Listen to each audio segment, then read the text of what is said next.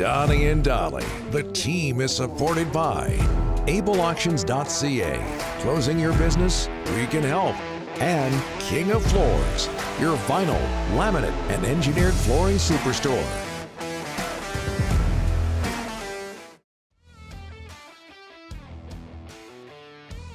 Wednesday. The week is flying by. That's what happens when you're having fun. All of our guests today are sponsored by the O's marketing team at Royal LePage, the go to source for all your central Vancouver Island real estate needs. Find out more at wearerealestate.com. Uh, .Com you can text us, by the way. Is it just me coming up in the next hour? Text us to 604 294 94. Just ahead of Iain MacIntyre, you had a text? Yeah, just before Iain MacIntyre. Uh, JT Miller is frustrated. Don't blame him. The team is bad, was not supported by upper management, and the coach was left to flounder. That's Scotty in uh, Maple Ridge. So there you go. He's frustrated. It, has been a horrible year. They're 29th in, in the NHL standings. Uh, geez, I wonder why he's not in a great mood. Thank you, Scotty. Uh, Iain MacIntyre joining us now for for the first time on Don. Yeah, he is best guy, from, best looking guy on TV. Ian, from, Iain MacIntyre. Sportsnet. Well, that's not saying much. Certainly the best looking guy here right now. Yeah, as long as you, as, as long as you watch uh, TV with the sound muted, I, I look awesome. You're yes, right. you do. Yes, you do. and then I and then I speak, and it spoils the effect. By the way, congratulations to you guys. I knew that if you persisted in this business long enough, eventually you'd find something that you're good at, and uh, you guys are great. So oh, I, am ha- I'm I'm happy that uh, you've landed on your feet the way you have. Thank you. Rick and I have had about uh, 20 other jobs before this. Are you saying we weren't all that good until this show? We, we, did bounce around a bit. I, I, I get that. Well, you know, journeyman. That, you there read you go. into it what you will, Donnie. Yeah, Survival yeah. mode. Still getting a paycheck. Uh, Oilers over the Canucks uh, 4 1, and, and, you weren't the only one, Ian, but you uh, tweeted out some uh, criticism of, of JT Miller. What didn't you like? Well, I just don't like uh, that. The big thing I don't like is is that this has been a recurring uh, problem, uh, and, and not just with JT Miller, uh, with the team as well. But Miller is such an influential player. He's so impactful. He's so much at the center of everything that it probably stands out a little more, his mistakes.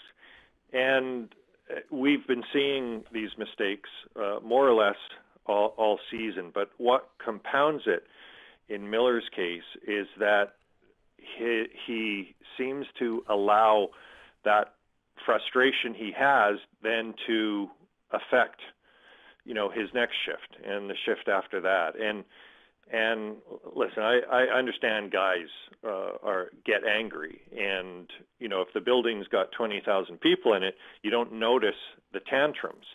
But you do you you're always going to notice when a guy follows uh, you know, a bad shift like his giveaway on the first goal, and he comes out on his next shift and takes a penalty because he wasn't moving his feet and he reached in and he high sticks a guy, and now uh, directly and indirectly that penalty leads to two goals, and suddenly a, a game that you led one nothing, you're down you're down three one, and and so, you know, Miller is is that good? Like he he mm-hmm. he is usually at the forefront of them winning. And last night he was he was one of the primary reasons that they lost. And I I don't know if you were uh, listening or watching earlier. I'm I'm sure you were, but um, I, I made this comparison. Ryan Kesler was a very good player for a significant amount of time.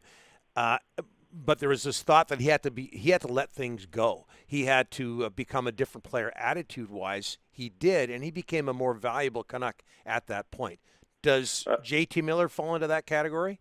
I, I think he does, and I've actually, and this just shows how how bright you are, Donnie, because I've I've mentioned that as well that that there uh, there's a comparison here between between uh, Miller and and Ryan Kesler, and I think you could put you know Todd Bertuzzi kind yeah, of into that yeah. category as well. These you know uh, guys who are emotional and and they have anger and uh, you know they have they're so talented they're so talented as well that they they they're always having an impact on the guys around them and the, and the guys in the room and I think it's a very good comparison and yes I do think uh, in those other cases both Bertuzzi and Kesler had to evolve a little bit. But the I, I think the really important thing in those cases as well is that they had players around them.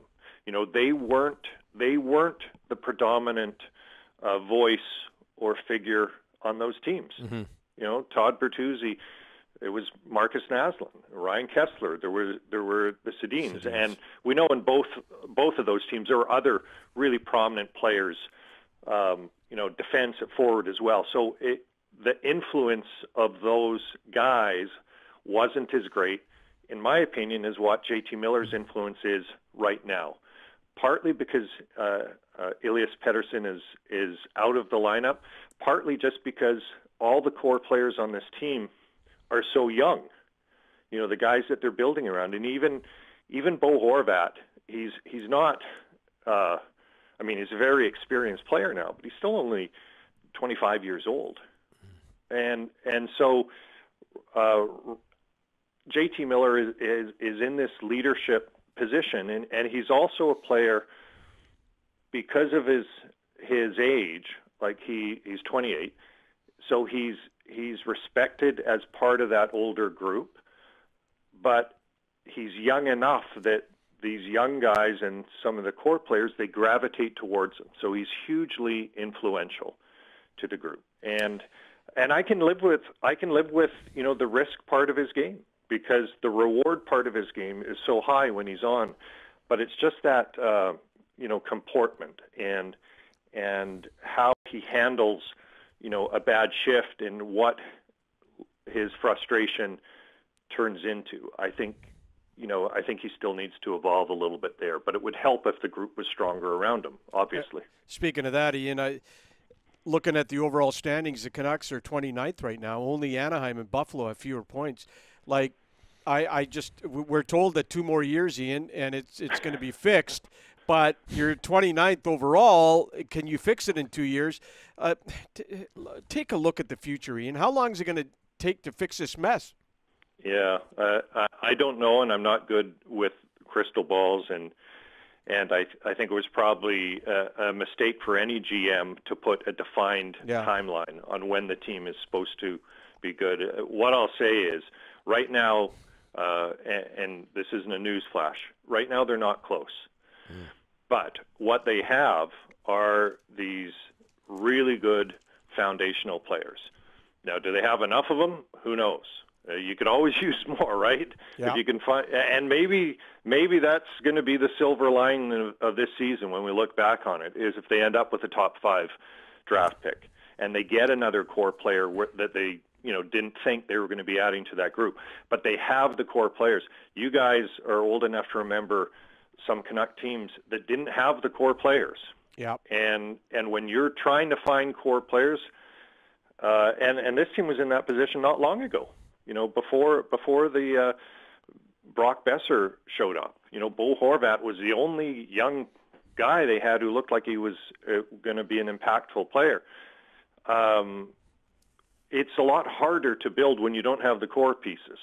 You know, when you're trying to find those guys, instead of trying to find the guys who are going to support the core pieces, the job is a lot is a lot bigger. So you know, right now they're not close.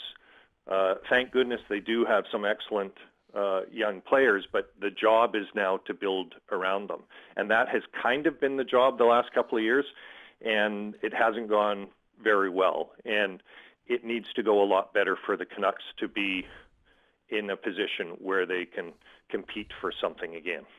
We're running out of time here. We're going to deal. I with, know I talked too long. No, no, no, no, no, no, no, no, It's not it's, you. Ian. It's it's Dhaliwal's uh, clock management. uh, we're, we're going to talk about Abbotsford in the next segment, but let's focus on this while we've got you, Ian. What did you sure. think of Jack Rathbone's NHL debut? Oh, I think it's I think it's terrific. I mean, it was 12 minutes. I don't think his debut was terrific, but it was. There was nothing wrong with it. He had a couple of flashes uh, where you could see his skill. What I what I really liked and I noticed right away was how engaged he was, how willing he was in his own end to compete for the puck, compete for space in front of his own net, which which is great. But he obviously is a guy who can moves around the ice really well, has a high end skill level, and uh, I hope we see him a lot more because he he's one of these players when you look at, uh, say, a prospect list, and there's a lot of guys you don't know, can they even be NHL players? And, and that's a big question because most of them don't become NHL players of Yeah. of the of the mass who are drafted. Um, but in Rathbone's case, you wonder not only can he become an NHL player, but how good an NHL player is going to be. And so he's really important to their future. And it's good to see that he's going to get uh, at least a few games this season because that's going to help him be better next season, which should help the club be better too. Ian, we're going to carpool to Abbotsford next year. It's going to be. we're going to You know what? carpool. We're going to carpool. And ho- and hopefully uh, the building is full of fans because Yes. Yes. if uh, if Dr. Henry allows it, Yeah. that place will that place will be jumping. I think Yeah. it's a, a great move. I agree. I, I can't see you, Ian, but I can just tell by the way you're talking. Your body language during that interview was just excellent. Thanks for this, Ian. Well, I have I have no influence, but Yeah. thank you. Okay. Thanks, Ian. Appreciate it. We'll get you See you on guys. again soon.